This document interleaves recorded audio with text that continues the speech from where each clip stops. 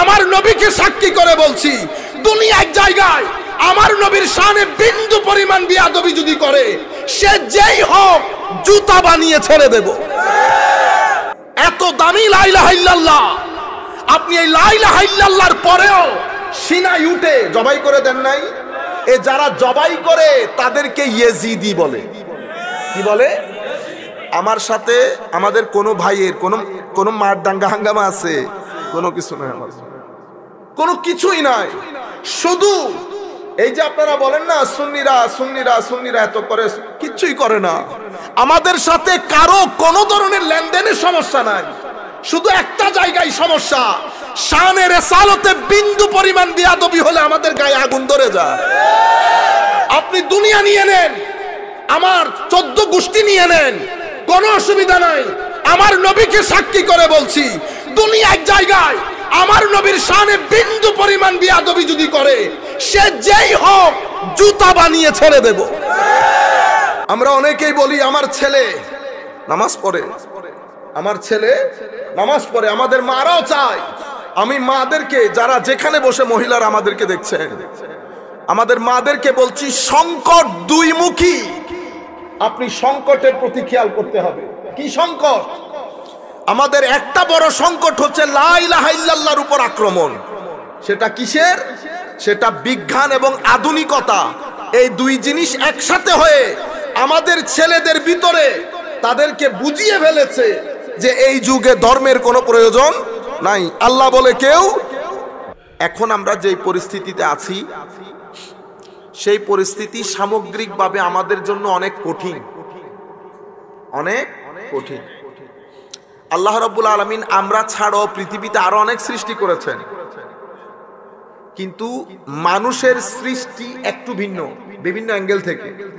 বিভিন্ন সৃষ্টির কোন প্রাণী আত্মহত্যা করে না।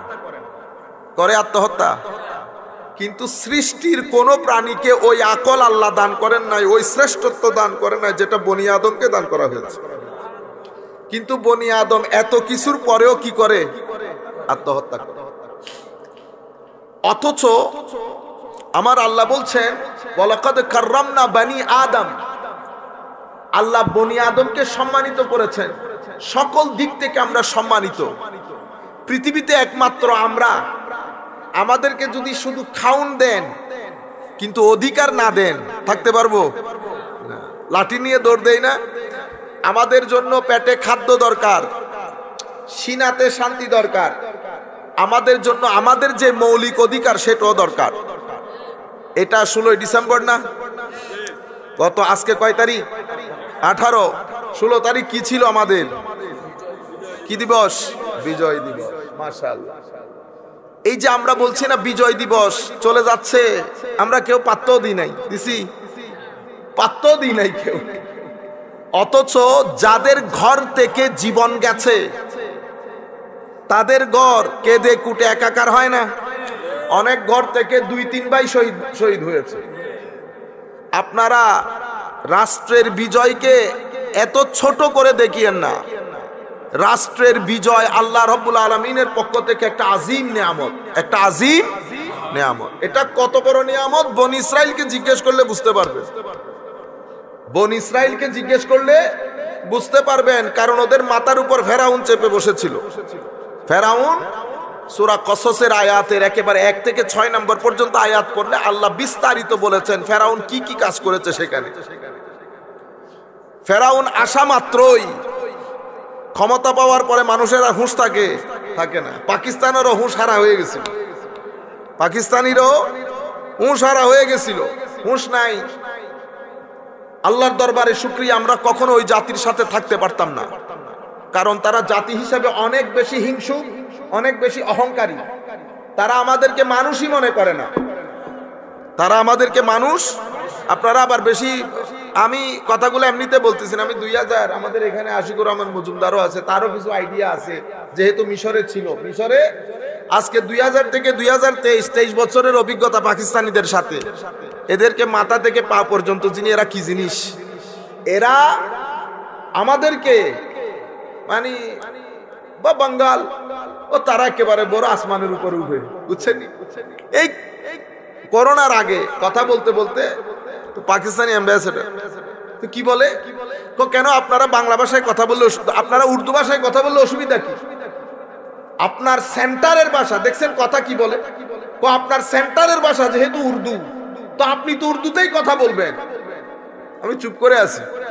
চুপ করে থাকার পরে সে সে মনে করছে কি, আমাদের এখানে একটা মেন্টালিটি আছে মাইন্ডসেট মৌলবী, দুই একটা ইংরেজি বললে চুপ করে যাবে। বুঝছেন? তো ওনারে বলছি, উর্দু, বাংলাতে যতগুলো স্বাধীনতার বই আমরা পড়ছি, আপনি মুড়িও খান নাই অতগুলা। বুঝছেন? উর্দু, বাংলাতে চুপ করে থাকি, কথা বলি না আর কি। তো আপনারা মনে করেন কি, আরেক জায়গায় বলছে, হুজুর, আপনারা এগুলা বুঝবেন না। আল্লাহ আপনারা কে বলছে কথা, আমি হুজুর আমি হুজুর না, আমি দর্শনের ছাত্র। এত আন্ডার এস্টিমেট করিয়েন না। এত আন্ডার এস্টিমেট করিয়েন না। তো বলতেছে সেন্টারের উর্দু ভাষা যেহেতু উর্দু আপনারা উর্দুতে কথা বলবেন, অসুবিধা কি ছিল? আল্লাহ একই কথা যদি আমি আপনাকে বলি সেন্টারের ভাষা যেহেতু বাংলা, আপনি বাংলাতে বললে অসুবিধা কি কথা? একই কথা তো আমিও বলতে পারতেছি সেন্টার তো আপনি কেমনে সেন্টার হলেন? আল্লাহ, দুই ভাগ করার সময় আমরা যখন ভাগ হচ্ছি, আপনার শিয়ার যতটুকুন ছিল, আমার শিয়ারও ততটুকুন ছিল। আপনি আমাকে আবার ছোট ভাই বানাই ফেললেন কেন? আমি তো ছোট ভাই ছিলাম না। সমানে সমান। সমানে সমান। আপনি আমার ছোট বানালেন কেন? আপনি অফিসার, আমি নিচের র্যাঙ্ক ঘটনা এটা কেন? মনে রাখবেন।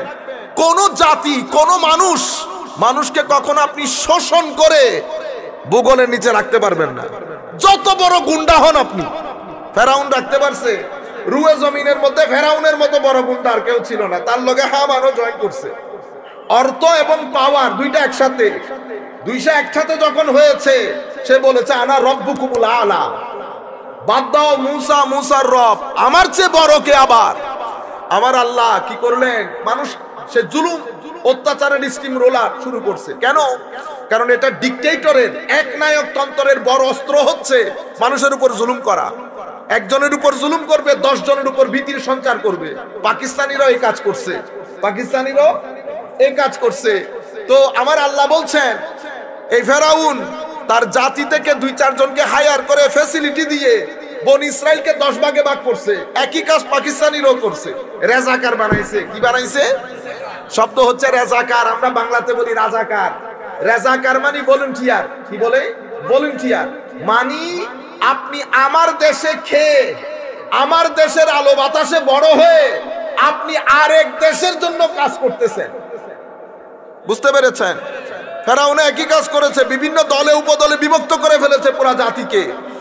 পাকিস্তানিরাও চেষ্টা করেছে এখানে কিছু ব্যবহার করে জাতিকে দলে, উপদলে বিভক্ত হয়ে করে ফেলতে। ধর্মের নাম দিয়ে আমাদের এখানে অনেক ভাই মনে করবে যে আমি কার কথা কার কথা বলতেছি না, কার কথা, কারও কথা বলতেছি না, আমরা কাউকে কি আরও করি না। যদি আমি এখানে টাকা পয়সার জন্য আসতাম ডিমান্ড করতাম, এই করতাম, সেই করতাম, তাইলে আমার অসুবিধা হইতো। এখন আপনি যদি আমারে বলেন, হুজুর, ওয়াজ বন্ধ বলব, আসসালাম আলাইকুম, আমি চলে যাব। কোনো মারামারি, কাটাকাটি নাই। আপনি বন্ধ বললে আমার লাভ, আমি একটু আর্লি গিয়ে রেস্ট করে ফেলতে পারব। শক্তি খুলাইতেছে না, সত্যি কথা বলতে। তো বলতে চাচ্ছিলাম, ঘটনা এটা না, আমি আপনাকে এক সিকোয়েন্স বলে তারপর আপনারা বুঝতে পারবেন। একই কাজ ওরাও করছিল। বিভিন্ন দলে, উপদলে বিভক্ত হবে, মানুষের উপর জুলুম করা শুরু করেছে। জুলুম করলে একজনের উপর জুলুম করলে দশজন ভয় পেয়ে যাবে। এটা হচ্ছে ডিকটেটরের নেচার ডিকটেট ইয়াজিদ কাজ কি করেছে? ফেরাউনের মতো আরেকটা বড় এক্সাম্পল হচ্ছে ইয়াজিদ। ডিকটেটরশিপের এক্সাম্পল সে কি করেছে? ইমামে হুসাইন আলাইহিসসালাম রাদিয়াল্লাহু আনহু আরদার গলায় ছুরি চালিয়েছে। কেন? সে মানুষকে মেসেজ দিয়েছে যে, এই জালেম আলে বাইত রসুলের গলায় ছুরি চালাতে পারলে আমরা কোন পুকুরের মাছ? মানুষ ভয় পেয়ে যাবে। মানুষ ভয় পেয়ে যাবে। সে পিছনের ইতিহাস ভুলে গেছে। জালেমরা সব কখনো পিছন দেখে না। পিছনের ইতিহাস ভুলে যা যে আল্লাহ মানুষকে উপর থেকে নিচে কেমনে নামান নিচের মানুষকে উপরে কেমনে তুলে। ঠিক আছে? আমার আল্লাহ মুসা আলাহ ইসলামকে দাঁড় করিয়ে দিলেন। বন ইসরায়েলের কিছু লোক নিয়ে মুসা দাঁড়িয়েছে। ফেরাউন মনে করেছে কি, ও, মুসা দাঁড়াল আর কি হবে? আমাদের মুসা আলাহ ইসলাম কথা বলার সময় একটু আটকে যেতেন। বুঝতে পেরেছেন? মুসা আলাহ ইসলাম কথা বলার সময় একটু, আপনারা কি তুতলা বলবেন? নবীদেরকে তুতলা বলে কেউ? না, বিয়াদবি হয়। বাবাও যদি থুতলা হয়, ছেলে কখনো থুতলা বলা যাবে না? বিয়াদবি হবে বাবার সানে উস্তাদ যদি একটু পারে, একটু দাবাইয়া হাঁটে ছাত্রের উচিত না উস্তাকে ল্যাংড়া বলা, বেয়াদবি। তো ছাত্র আর বাবার সাথে যদি এই আয়াত আদব হয়, তো নবীদের সাথে কোন আদব হবে? সুতরাং নবীদেরকে কথা বলার সময়, অনুবাদ করার সময়, তুমি তুমি এগুলা বলবেন না। এগুলা বেয়াদবি। এগুলা কি? বেয়াদবি। আপনারা বুঝতে পেরেছেন? তাহলে আমরা মুসা আল ইসলামকে থুতলা বলেছি। কি বলেছি? আমাদের নবী কথা বলার সময় একটু আটকে যেতেন। এই আদবটাকে সুন্নিয়ত বলে। কি বলে? সুন্নিয়ত, তো সুন্নিয়তের সংজ্ঞা কি? সুন্নিয়তের সংজ্ঞা হচ্ছে প্রত্যেক জাত যাদের উপর দিন নির্ভর করে, তাদেরকে আল্লাহ আল্লাহ রসুলের দেখানো পদ অনুযায়ী সর্বোচ্চ সম্মান করার নাম সুন্নিয়ত। আপনারা বুঝতে পেরেছেন? সেই কারণে হজরত মুসা আলাইহিস ইসলাম কথাই আটকে যেতেন। তো আটকানোর কারণে বনি, ওই ফেরাউন মনে করতো, করল আর কি? কত তো বলতে পারে না। সে বুঝতে পারে নাই। দুই, তিন, চার, পাঁচ, ছড়ানো, ছিটানো হলে না এক অবস্থা। সবাই যখন একসাথে হয়ে যায়, একসাথে হয়ে যায়, তখন কামানের বিরুদ্ধে মূলা নিয়ে দাঁড়িয়ে গেলেও কামান দাঁড়াইতে পারে না। পাকিস্তানিরা কি মনে করছিল? মনে করছে বাঙালি মুলি লেখে, মুলি, মুলা দিয়ে ঝগড়া করে কতক্ষণ পারবে? তারা বুঝতে পারে নাই। সাত কোটি মানুষ একসাথে হয়ে গেলে একটা কথা বলতে চাচ্ছি, সেটা স্টেজের সাথে যাবে না, সেজন্য বলতেছি না। পার্সোনালি হইলে বলতাম। বলতে চাচ্ছিলাম, সাত কোটি মানুষ একসাথে হয়ে গেলে অনেক কিছু করা যায়। আমাদের মানুষ রাত্রে বেলা পানি টানি খেয়ে শুই না সকাল বেলায় উঠে আমরা সাত কোটি মানুষ। বুঝতে পারছেন কি বলতে চাচ্ছি? একসাথে সমুদ্র বয়ে যাবে না? তো আমরা আপনি দুর্বল ভাবছেন কেন? আপনারা বুঝতে পারতেছেন তো আকল মন্দ্রা ইশারা বাসত তো বলতে চাচ্ছিলাম, ভয় পেয়ে গেছে। তো আল্লাহ রাব্বুল আলামিন কায়া পাল্টা দেয়া, কায়া পাল্টা দিয়া। কতক্ষণ লাগছে? সেই ফেরাউন চিত হয়ে এখন মিশরের জাদুঘরে শুয়ে আছে না? এরও মনে করছে কি, আমাদেরকে রক্ষা করতে পারবে। কারণ সেনাবাহিনী তাদের, আইএসআই তাদের আল্লাহ রাব্বুল আলামিন আমাদেরকে বিজয় দান করেছে এটা আল্লাহর পক্ষ থেকে নিয়ামত। আল্লাহর পক্ষ থেকে এবং এই নিয়ামতের সুক্রিয়া আদায় করা। এটা আল্লাহর সুন্নত। হজরত মুসা আলাহ ইসলামের সুন্নত, আমার নবীরও সুন্নত। তাহলে কি বলছি? বিজয় দিবসে খুশি হওয়া, বিজয় দিবসকে উদযাপন করা, এটা আমার আল্লাহর সুন্নত, এটা আমার নবীর সুন্নত, এটা হজরত মুসারও সুন্নত আলাইহিসালাম আপনি ঈদে মিলাদুল নবী অনেক দূরের জিনিস। বিজয় দিবসের কথা বলতেছি আসেন। কেমনে বলছি এই কথা? আমার নবী যখন মদিনা শরীফ থেকে মদিনা শরীফে হিজরত করে আসছেন, আমার নবী ইহুদিদেরকে রোজা রাখতে দেখছেন না? ইহুদিরা কোন দিন রোজা রাখতো? দশই মহরম আমার নবী জিজ্ঞেস করছেন পালন করতেন? বুখারি, মুসলিমের রবায়তের মধ্যে ঈদ হিসেবে পালন করতেন এসেছে। তো মুসা আলাইহিস সালাম ফেরাউন থেকে নাজাত পেয়ে ওই দিনকে সেলিব্রেট করেছে। তো মুসা আলাহ ইসলামের কাজ এটা শূন্যতে মুসা হয় নাই? হয়েছে আমার নবী বলতেছে, যেহেতু আমার ভাই মুসা রোজা রেখেছে, তো তোমরাও রোজা রাখো, আমার নবীও রোজা রেখেছে। তো এটা আমার নবীর সুন্নত হয় নাই? তো বিজয় দিবস পালন করা নবীর সুন্নত হয় নাই? আপনারা বুঝতে পেরেছেন? এখন পালন কেমনে করবেন? এই ফুল দিয়ে নিয়ে আমরা একজনের লোকে ধাক্কা ধাক্কি করব। ফুল অবশ্যই দেব। কিন্তু ফুল দেওয়ার মধ্যে শেষ না। বিজয় দিবস আমাদের হৃদয়ের দিবস। যারা দুনিয়া থেকে চলে গেছে, আমাদের হৃদয়ের সাথে সম্পৃক্ত। আপনারা দাঁড়াই থাকেন, ফুল দিয়ে গুতাগুতি করেন, এগুলা না। আমার আল্লাহর কাছে জিজ্ঞেস করি, আল্লাহ বিজয় দিবস পালন করে কেন সবাই মিলে সুরা নাসার করি। বিজয়। বিসমিল্লাহির রহমানির রহিম। ইজা نصر الله والفتح. ورأيت الناس يدخلون في دين الله أفواجا. فسبح بحمد ربك واستغفر. إنه كان توابا এই ফাসাব্বিহ থেকে দিবস কেমনে পালন করব সেটা বলছি এর আগে আমার আল্লাহ কি বলছেন ইজা জা আনাসরুল্লাহি ওয়াল ফাত আমার নবীকে দেওয়া দায়িত্ব দিন প্রচারের দায়িত্ব আমার নবী পরিপূর্ণ রূপে করেছেন তেরো বছর মক্কা শরীফের মধ্যে, দশ বছর মদিনা শরীফের মধ্যে, তেইশ বছরে আমার নবীর অ্যাসাইনমেন্ট খতম। আমার নবী যখন আমার নবীকে দেওয়া অ্যাসাইনমেন্টের বই বন্ধ করতেছেন, তখন ইসলাম সিন্ধু প্রদেশে ঢুকে গেছে। আমার নবী আওয়াজ তুলেছে মক্কায় মুআজ্জামার মধ্যে, কোথায় মক্কা? কোথায় সিন্ধু? সিন্ধু প্রদেশ, পাকিস্তানের মধ্যে। আমার নবী যখন চ্যাপ্টার ক্লোজ করতেছেন, তখন মদিনা শরীফ পনেরো হাজার বর্গমিটার স্কোয়ার ফিটের ছিল। আমার নবী যেই দিন বই বন্ধ করতেছেন, বত্রিশ লাখ স্কোয়ার ফিটের মদিনা। কয় লাখ? বত্রিশ লাখ ছিল পনেরো হাজার আমার নবী যখন মদিনা শরীফের মধ্যে হিজরত করে গেছেন, পনেরো হাজার স্কোয়ার ফিটের মদিনা, আমার নবী যখন দুনিয়া ছেড়ে চলে গেছেন, চলে যাচ্ছেন বত্রিশ লাখ স্কোয়ার ফিটের মদিনা, মানুষ মারা গেছে কয়জন? সাড়ে পাঁচশো জন। কয়জন? সাড়ে পাঁচশো জন। তবু আপনারা বলবেন, আমরা মানুষ মেরে ফেলছি অনেক। পনেরো হাজার স্কোয়ার ফিটের মদিনা বত্রিশ লাখ স্কোয়ার ফিটের মদিনা হয়েছে। আমার নবী মদিনা শরীফে সাতাশিটা ছোট বড় যুদ্ধ করেছে। এত যুদ্ধের মধ্যে মানুষ মারা গেছে সাড়ে পাঁচশো জন।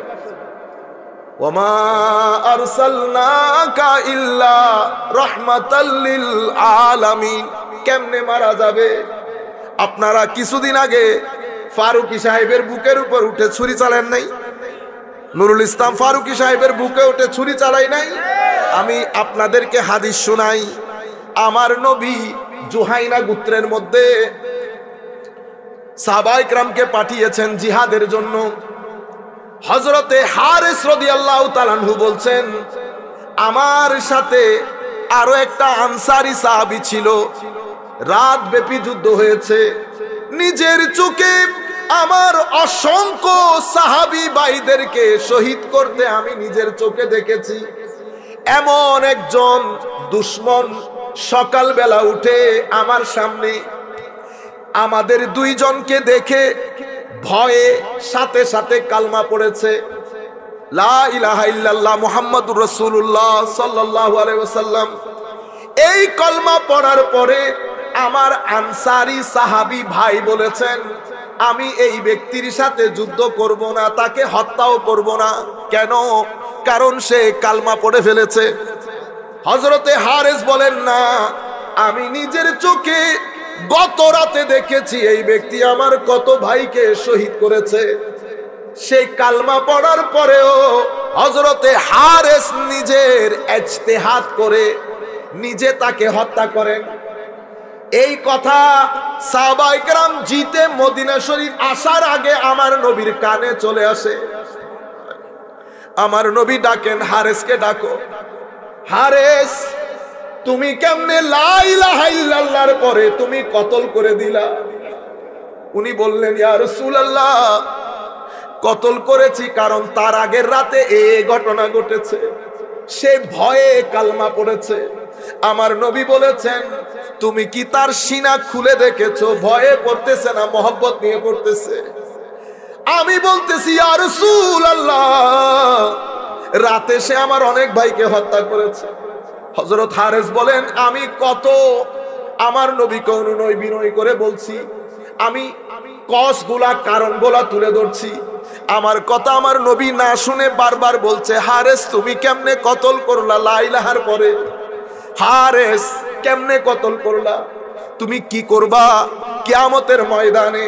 আমার আল্লাহ যদি তোমাকে জিজ্ঞেস করে লাইলাহা ইল্লাল্লাহর সাথে তুমি কি জবাব দিবা?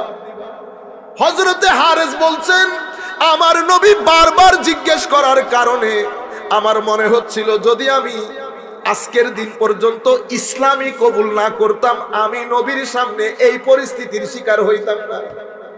তখন বললাম ইয়ার আল্লাহ আমার জন্য আল্লাহর দরবারে একটু দোয়া করেন। এটাকে বলে সুপারিশ সাফাতে রসুল। সাহাবি নিজে চাইলেও দোয়া করতে পারতেন কিন্তু আমার নবীর মাধ্যমে সুপারিশ করাচ্ছে আল্লাহর দরবারে। আমার নবীকে বলছেন দোয়া করতে।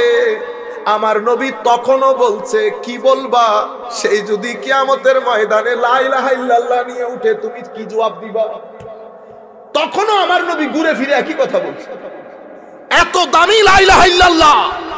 আপনি এই লাইলাহা ইল্লাল্লাহর পরেও সিনাই উঠে জবাই করে দেন নাই? এ যারা জবাই করে, তাদেরকে ইয়েজিদি বলে। কি বলে? আমার সাথে আমাদের কোনো ভাইয়ের, কোনো কোনো মার দাঙ্গা হাঙ্গামা আছে, কোনো কিছু নাই আমার। কোনো কিছুই নাই। শুধু এই যে আপনারা বলেন না, সুন্নিরা সুন্নিরা সুন্নিরা এত করে কিচ্ছুই করে না। আমাদের সাথে কারও কোনো ধরনের লেনদেনের সমস্যা নাই। শুধু একটা জায়গায় সমস্যা। শানের সালতে বিন্দু পরিমাণ বিয়াদবি হলে আমাদের গায়ে আগুন ধরে যায়। আপনি দুনিয়া নিয়ে নেন, আমার চোদ্দ গোষ্ঠী নিয়ে নেন, কোনো অসুবিধা নাই। আমার নবীকে সাক্ষী করে বলছি দুনিয়া এক জায়গায় আমার নবীর শানে বিন্দু পরিমাণ বিয়াদবি যদি করে, সে যেই হোক জুতা বানিয়ে ছেড়ে দেব। আমরা অনেকেই বলি, আমার ছেলে নামাজ পড়ে। আমার ছেলে নামাজ পড়ে, আমাদের মারাও চায়। আমি মাদেরকে, যারা যেখানে বসে মহিলারা আমাদেরকে দেখছেন, আমাদের মাদেরকে বলছি, সংকট দুই মুখী আপনি সংকটের প্রতি খেয়াল করতে হবে। কি সংকট? আমাদের একটা বড় সংকট হচ্ছে লাইলাহাইল্লাহর উপর আক্রমণ। সেটা কিসের? সেটা বিজ্ঞান এবং আধুনিকতা। এই দুই জিনিস একসাথে হয়ে আমাদের ছেলেদের ভিতরে তাদেরকে বুঝিয়ে ফেলেছে। যে এই যুগে ধর্মের কোনো প্রয়োজন নাই। আল্লাহ বলে, কেউ আপনি ছেলেকে আপনাদের জায়গা থেকে শুধু শহরে পাঠিয়েছেন, কলেজে পাঠিয়েছেন, বিশ্ববিদ্যালয়ে পাঠিয়েছেন। এই কলেজ বিশ্ববিদ্যালয়ের মাহল, সোহবত, সঙ্গ কিছুদিনের মধ্যে তার ভিতর থেকে ইমানের চেরাক নিবু নিবু করে দিয়েছে। সে আপনার বাসায় যখন আসে, নামাজ দোয়া পরে আপনি মনে করতেছেন তার বিশ্বাস পোক্ত, তার বিশ্বাস পোক্ত না। যেই ব্যক্তি কবর সম্পর্কে সচেতন হবে, সেই ব্যক্তির পক্ষে এইরকম অরাজকতা সম্ভব না।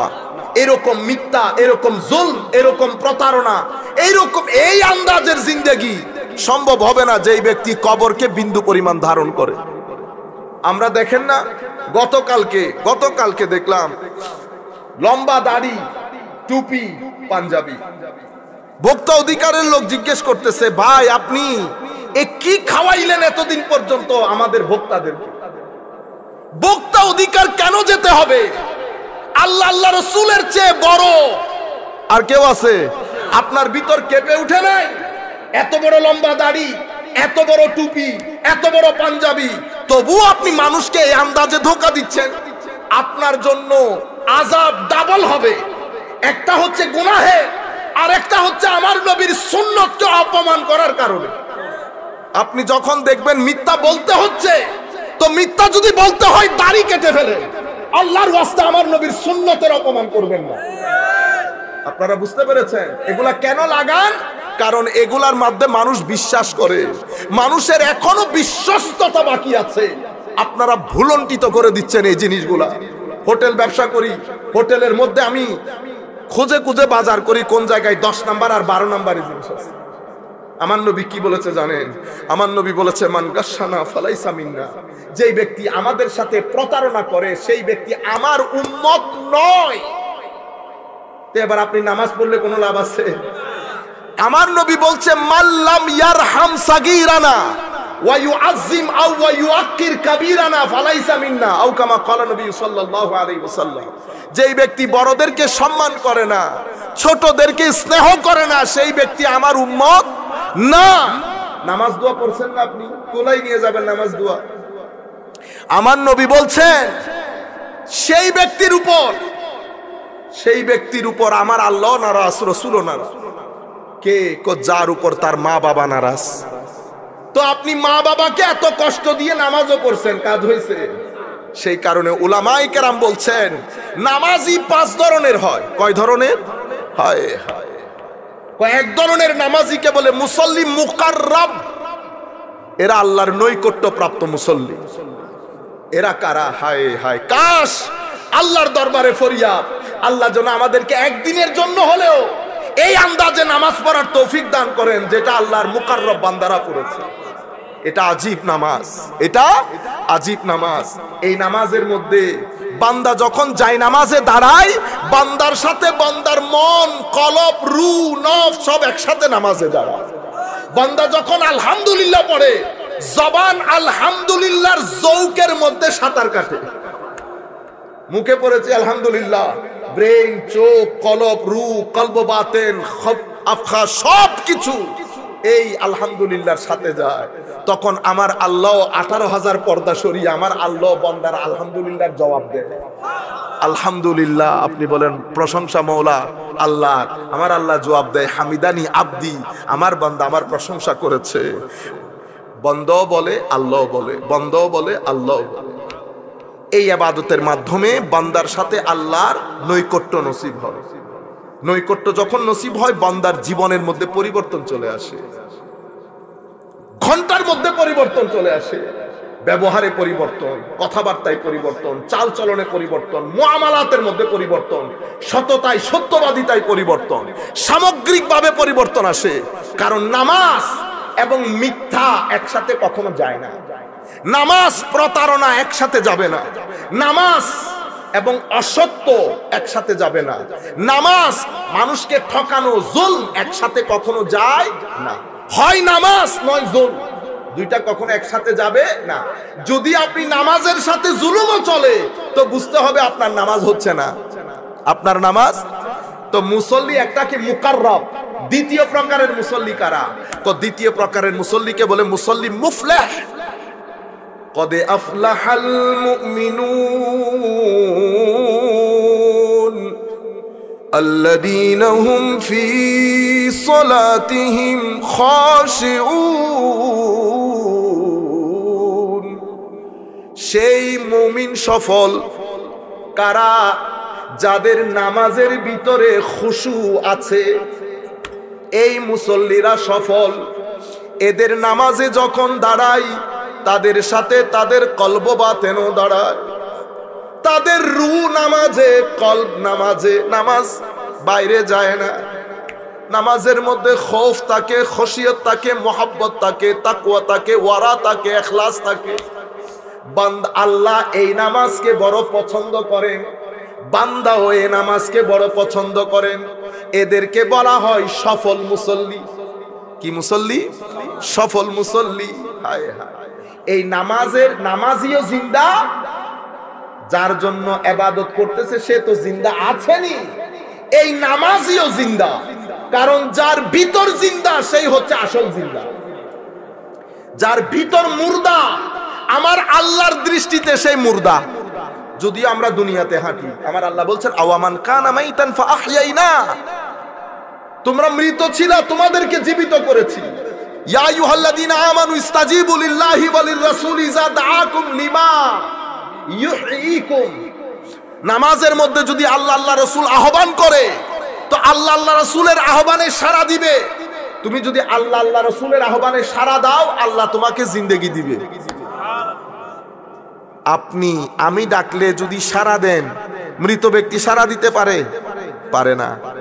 তো যিনি সাড়া দিচ্ছেন, উনি তো জিন্দা।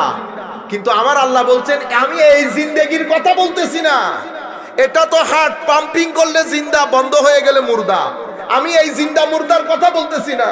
তো মৌলা কোন জিন্দা মুর্দা? তার যার ভিতর জিন্দা, সেই ব্যক্তি সব সময় জিন্দা মুর্দাকে যে দুনিয়া থেকে দুনিয়া থেকে দূরে সরে গেছে। কবরে চলে যাওয়া মানে দুনিয়া থেকে দূরে সরে যাওয়া। এই মুর্দা। কলবের মুর্দাকে যে আল্লাহ থেকে দূরে সরে গেছে।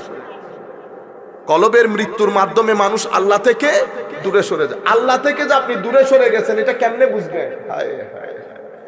আমার আল্লাহ এবাদত থেকে, জিকির থেকে, কোরআন থেকে, দরুদ থেকে, মানুষকে সহযোগিতা করা থেকে আমার আল্লাহ তৌফিক তুলে ফেলবেন। আপনি লাখ চেষ্টা করেও মসজিদে ঢুকতে পারবেন না। আজকে পড়ব, কালকে পড়ব, পরশু করব এমন করতে করতে দিন চলে যাবে।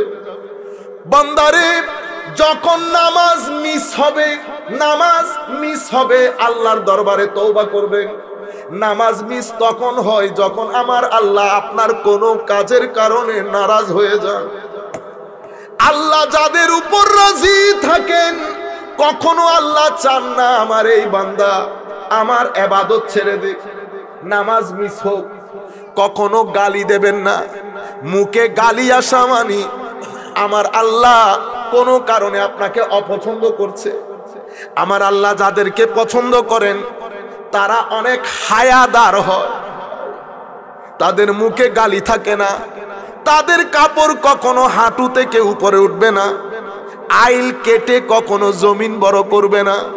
তারা কখনো মানুষকে তু তু মে মে করে মানুষের উপর জুলুম করবে না।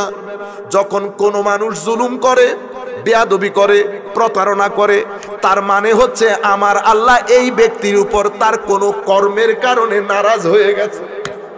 যদি আমার আল্লাহ রাজি থাকেন, পৃথিবীর যেই প্রান্তে, যেই কোনায়, জমিনে, ঘরে, সোফায়, আপনি শুধু এতটুকুন বলবেন, আল্লাহ।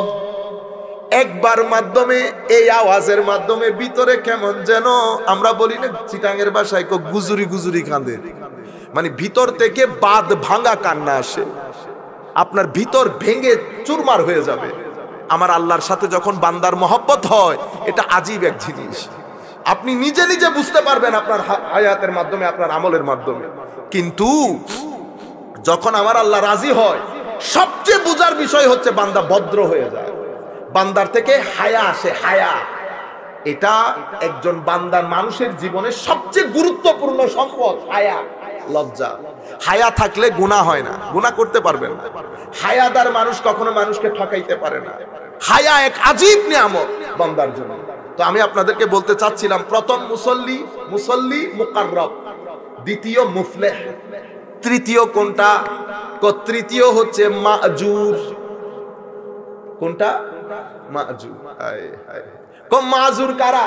কো মাজুর হচ্ছে কো সেই ব্যক্তি বারবার চেষ্টা করে এটাকে জায়নামাজে রাখার জন্য। এটা বের হয় আজীব এক যুদ্ধ বান্দার সাথে। এটা বের হয়, সে বারবার চায় এটাকে যায় নামাজে রাখতে। আবার বের হয়, আবার চায় নামাজে রাখতে। অনেক মাজুর এমন আছে যাদের নামাজকে আমার আল্লাহ মুকাররবের নামাজের চেয়ে বেশি মহব্বত করে। আমার আল্লাহকে তৌফিক দেয় না। দেখার জন্য আমার বান্দা কি করে? তো কিয়ামতের ময়দানে আমার নবী বলছেন আমার আল্লাহ সোয়াবের পাহাড় করে দেবে। ব্যক্তি বলবে মাওলা কই আমি তো করতে পারি নাই। তো আমি বেটা তোরে তৌফিক দেই নাই সেই কারণে করস নাই। তৌফিক কেন দেন নাই মাওলা? তো আমি তোর এই জিনিসটা আমার অনেক পছন্দ হইতো। তুই ভিতর থেকে আকুতি ছিল। এই কাজ করার। আমার তোর এই আকুতি বড় পছন্দের ছিল। আমি তোরে তৌফিক দেই নাই। আমি চাচ্ছিলাম তোর এই আকুতি কি রকম হয়। তোর এই আকুতি করার ইচ্ছা অনেক বেশি ছিল। আমার এটা বড় মহব্বতের ছিল। আমি তোরে তৌফিক দিলে তো তোর আকুতি নষ্ট হয়ে যেত। আপনারা বুঝতে পেরেছেন? কি কি কারণে আল্লাহ বান্দাকে মাফ করে দেবে? কি কি কারণে বান্দা আটকে যাবে? এক ব্যক্তিকে আল্লাহ ক্ষমা করে দেবে। আমার নবী সাল্লাহ ইসলাম বলছেন, এই ক্ষমা কোনো এবাদত দিয়ে হবে না। কি দিয়ে হবে? তো হালাল রুজি কামাই করতে গিয়ে মাথা থেকে পা পর্যন্ত যে ঘাম জড়িয়েছে, সেই ঘামের বদৌলতে কেয়ামতের ময়দানে বান্দার এমন এমন গুণা মাফ হয়ে যাবে যা কোনো এবাদতের মাধ্যমেও। আপনারা বুঝতে পেরেছেন? সুতরাং যারা খাটুনি কাজ করে মনে রাখবেন, ঘাম জড়তেছে এই ঘামের মাধ্যমে আল্লাহ জান্নাতের মধ্যে আজিম মর্তবা দান করবে। তো আমি আপনাদেরকে যে জিনিসটা বোঝাতে চাচ্ছি, মাজু, আমাদের যেটা হয়, বারবার বের হয়ে যায়, আবার ঢুকাইতে চায়, বের হয়ে যায়, ঢুকাইতে চায়। আয় হায়। চতুর্থ নাম্বার মুসল্লি। চতুর্থ নাম্বার মুসল্লিকে বলে এরা মুসল্লি এদের নামাজের মধ্যে, নামাজের কারণে আমার আল্লাহ তাদেরকে আজাব আরও বাড়িয়ে দেবে। আজাব আরও বাড়িয়ে দেবে। এদেরকে আমার আল্লাহ পানিশমেন্ট দান করবে। ফাওয়াইলুল মুসাল্লিন আল্লাযীনা হুম আন সালাতিহিম সাহুন, আল্লাযীনা হুম ইউরাউন। ويمنعون الماعون আমার আল্লাহ বলছেন ফাওয়াইলুল লিল মুসাল্লিন ধ্বংস মুসল্লিদের জন্য মুসল্লি আমি নামাজ পড়ি ধ্বংস হওয়ার জন্য না, কিন্তু আমার আল্লাহ বলছেন ফওয়াইলুল্লিল মুসল্লি আল্লাযীনা হুম আন সালাতিহিম সাহুম নামাজের আদব, কায়দা, এটিকেটস কোনো কিছুর ব্যাপারে, নামাজের রুকন আর কানের ব্যাপারে কোনো খেয়াল নাই। ব্যবসার কাজে ব্যস্ত, চাকরির কাজে ব্যস্ত। নামাজের ওয়াক্ত চলে যাচ্ছে। এ পড়ব শেষ পকেটে আরেকটু করে নি, আরেকটু করে নি। শেষের দিকে কোন রকম দৌড়ের মধ্যে নামাজ পড়ি। বাস এক সেকেন্ডের মধ্যে নামাজ শেষ। আল্লাহ আকবর দুমদারাক্কা কোন রুকন, নামাজের আরকা, নামাজের আদাব, কোনো কিছুর কোনো পরোয়া। এরপরে নামাজ মানুষকে, হায় হায়, এখন তো কত ধরনের নামাজ বের হয়েছে আর কত ধরনের তবলিগে দিন বের হয়েছে। তো আপনি হঠাৎ করে কেন ওই কাজে যাওয়া শুরু করলেন? কহুজুর আসলে আপনাদেরকে কি বলব? ব্যবসা বাণিজ্যের বিষয় তো, ওখানে কিছু ব্যবসায়ী ঢুকছে। ওখানে কিছু ব্যবসায়ী ঢুকছে। তো স্বাভাবিক এক্সপোর্ট ইম্পোর্ট করি এক্সপোর্ট ইম্পোর্ট করি। এখানে অনেক কিছু দরকার হয়, অনেক সময় জয়েন্টলি কাজ করতে হয়। তো জয়েন্টলি কাজ করার জন্য, দেখছেন? আমি মাঝে মধ্যে চিন্তা করতাম, আমার নবী এক খাদি মুসলিম শরীফের আওয়ায়তের মধ্যে বলছে, বাদিরু বিল আমালি সালেহা।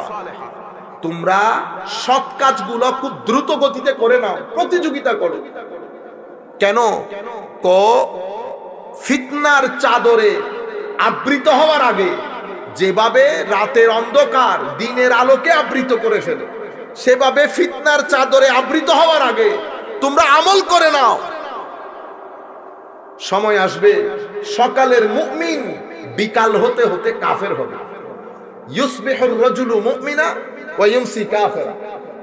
আবার বিকালের মুমিন সকাল হতে হতে কাফের হয়ে যাবে। দুনিয়া। দুই টাকার জন্য নিজের দিন বিক্রি করে দেবে।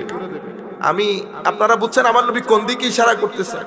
এখানে বেচা কেনার বিষয় আছে, এখানে টাকা পয়সার বিষয় আছে।